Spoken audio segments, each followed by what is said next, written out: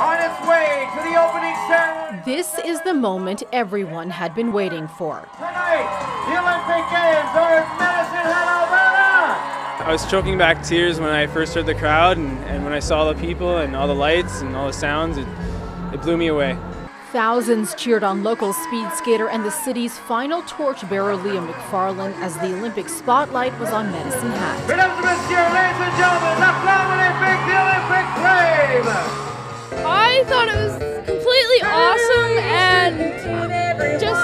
excited. I am so proud of Medicine Hat for coming out in such full force. We got the cadets here, and a lot of the, for a lot of them, this is going to be kind of the first time to, to get a chance to see the the, uh, the torch or be a part of the Olympics. So it's a it's a it's a really big deal. I feel. Hatters of all ages poured onto the site to take advantage of the weather, activities, and find a spot for the big show. I'm here to see the torch for my first time, and I'm gonna come to support the Canadian athletes for their um, games in 2010.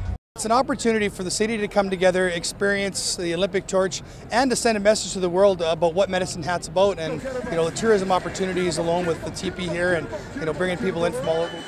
including from all over the world. Канаду с ее таким замечательным праздником.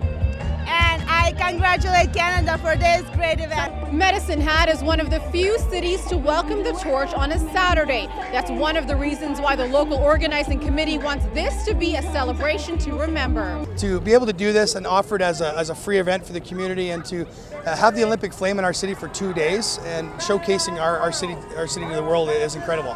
With more than 60 local performers, including headliner Medicine Hat's own Terri Clark taking the stage under the world's largest teepee, some in attendance say they hope it's not another 22 years before the city hosts a party like this again. Medicine Hat has been known for many years as a retirement city, but you can see the life, you can see the spirit here.